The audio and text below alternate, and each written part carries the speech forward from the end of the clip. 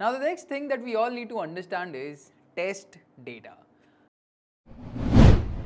Let's understand what exactly test data means. So the data which you create in order to test the functionality of the program or the code that you've written down inside Apex uh, is something which is called as test data. And let me tell you why you have to create it. Because how uh, you'll identify whether the particular trigger is working uh, fine or not, or whether this functionality is working fine or not. And when I say test data, it is a kind of data which is transient in nature, and that basically means that after the execution of the test, uh, it automatically gets deleted or rolled back from the database. So the whole sole purpose of creating a test data is to execute the test run uh, for a particular functionality. Let's have a look what we have got over here. So, um, test data is the transient data that is not committed to the database and is created by each test class to test the Apex code functionality for which it is created.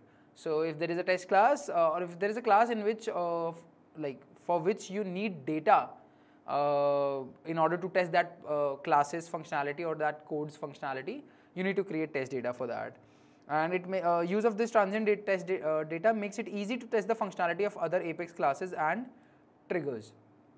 So yeah, it becomes easier for you to uh, test uh, uh, the functionality. Why? Because you'll be able to create different different type of data and you'll be able to see that how the code reacts or how the functionality is working uh, for different different type of data that you are trying to create into the database or or if uh, yeah, after creation you want you're trying to update that from the database. So that's what the case is.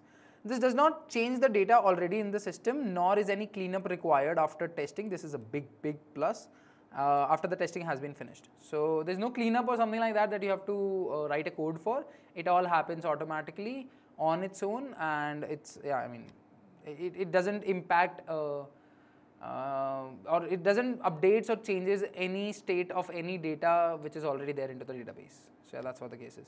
Test classes can be moved to any environment and executed there as they create their own data, hence they are environment or org agnostic. Listen to this word once again, environment or org agnostic. Now let me tell you an example uh, based, with the help of which you'll be able to understand it in a better way.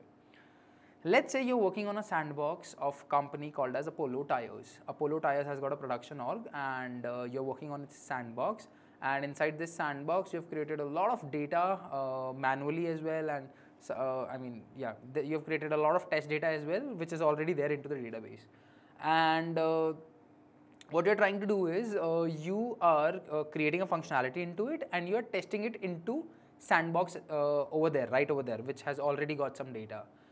But when you will be moving this Apex class from the sandbox to the production, which does not have any data set, then how will your tests execute and how will uh, like it verify that whether it is working fine in the production or not. Like let's say you've created a calculator class, not a calculator class, but let's say you've created uh, two triggers into inside uh, the sandbox environment and now you're migrating these two triggers from the sandbox to the production environment. And after uh, migrating it over there, there needs to be the test which should get executed once you deploy it over there. So after deploying all of your code from uh, the sandbox to the production, which has got no data, what are you going to do? Are you going to create some test data manually or with the help of a data loader or something like that over there as well? But that do, do, don't you think that will uh, corrupt the data or the records which are already there if there are any uh, or otherwise like if you'll be creating it manually or with the help of a data loader there will be a cleanup that you have to do and while doing the cleanup if you delete any of the important records or of the or any important data from the database imagine uh, what your CIO will be doing to you. So in order to avoid all of these situations all what we need to do is we need to create our test data inside our test classes itself. It is highly highly recommended that uh, if you uh, if there is some data which is required in order to test a particular functionality always and always uh, make test data um, inside that test class itself so that uh, based on that test data the functionality can can be tested and verified whether it is working fine or not and that is why we are saying that this test data is environment or org agnostic no matter which environment or which org you are uh, you are, uh, I mean, uh, migrating the test class to, it will automatically create its own test data and it will test uh, the class according to the test data which we have created with the help of test class. So we'll, we'll, uh, we'll not have to worry about, uh, yeah, I mean, what data is already present into the database. Uh, we are independent or, or our testing will become independent or our, or our testing will not be dependent onto the data which is already there into that particular environment or into that particular org. But there comes some situation in which we have to access the data which is present into the database.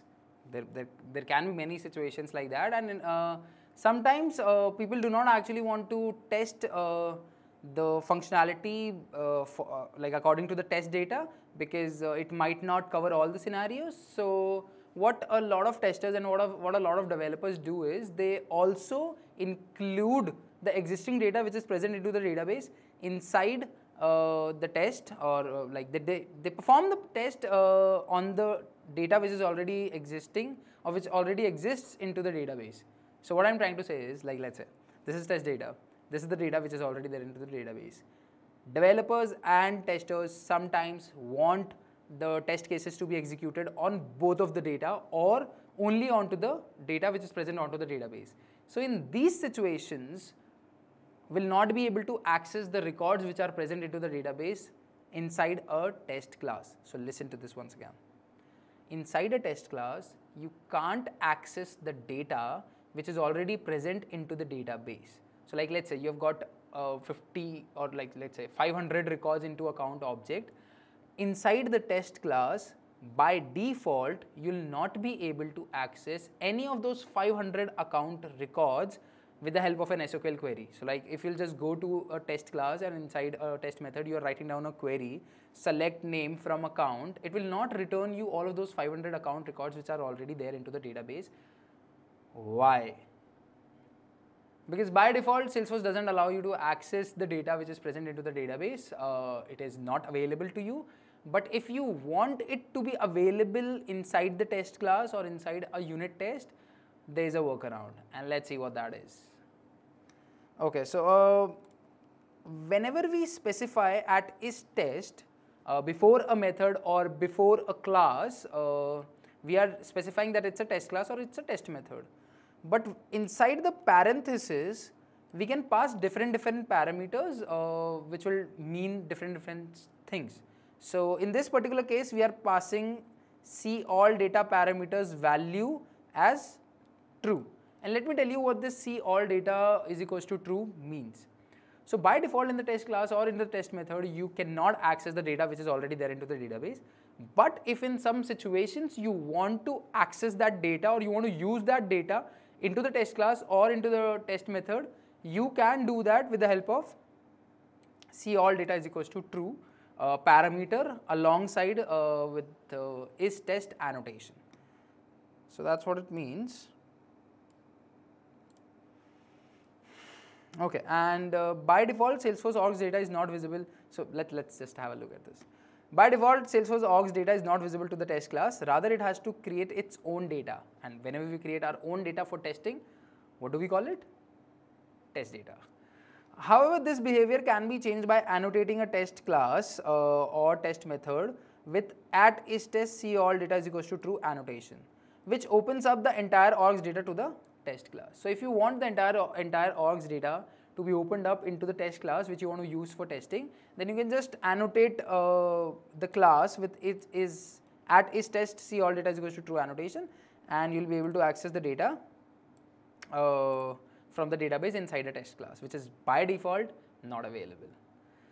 Okay, if the annotation is defined on the class level, then this annotation is automatically applied to all of its method. This annotation can also be used individually at the method, method level. Okay, so what that means is like let's say we have got a test class which has got five uh, unit tests or unit test methods. If you want all of these five unit test methods to be able to access the data from the database for the testing, then in that case you should define at is test parenthesis see all data is equals to true at the class level. So when we annotate the class with at is test, you should write down see all data is equals to true over there itself. But if you want only two of those methods or only one of any uh, one of those methods out of five to be able to access the data which is there into the database, then in that case you should annotate that particular method only with see all data is equals to true annotation, right? Let me just take an example for that same. So this is a test class and we have got T1, T2 and T3. So uh, yeah, I mean these these are the uh, these, these are the different test methods that we, uh, which we have got. And uh, we have defined see all data is equals to true at the class level. So in that case uh, T1, T2 and T3 will be able to access it. And uh, yeah they, will be able to access the data which is already there into the database without any uh, annotation like see all data is equals to true separately for each method. You do not need that at the method level then if you have defined it onto the class level. But let's say that uh, we have defined it uh, onto like we, we only want T1 uh, method to be able to access the data uh, which is present in the database. So we'll define see all data is equals to true with the annotation of T1 method and uh, not with T2 and not with T3 and not with uh, yeah TC which is basically the class. So if you only want T1 to be able to access the uh, data in, from the database, then you should define it with T1 only. But if you, uh, but if you like a lot of time, what the problem which comes up is when people define a class with see all data is equals to true, and they want some of its methods to uh, to not uh, be able to access the data from the database, that becomes a problem. Why? Because as soon as you define uh, like see all data is equals to true at the class level, all of its method will automatically uh, have the access to the database irrespective of uh, the parameter that you are passing over there. And even if, if we'll pass see all data is equals to false at a particular method in or like let's say you've got 100 unit tests and for 100 unit tests you do not want to specify one by one, one by one that uh, which all uh, like you, you want to specify uh, see all data is equals to true for 99 of them but for a single method you do not want this to be applicable. In that case you can't define it onto the class level and make it uh, see all data is equals to false onto that particular single method because uh, it will not work it like that. You have to have to specify it for each method each 99 like for all of the 99 uh, methods and you have to leave uh, this annotation see all data is equals to true for the one to which you do not want uh, the access to the records or to the data which is there into the database. And by doing this you need to make sure that the class is still at is test only not at is test see all data is equals to true. You do not need to define it onto the class level until unless you want all of its method uh, methods to have access to the records which are there into the database or access to the data uh, which is there into the database. I think I think I, I guess I have overstressed it. Uh, let's not let's let's just not waste our time and uh, go to the developer uh, org and see that how it actually executes in the code.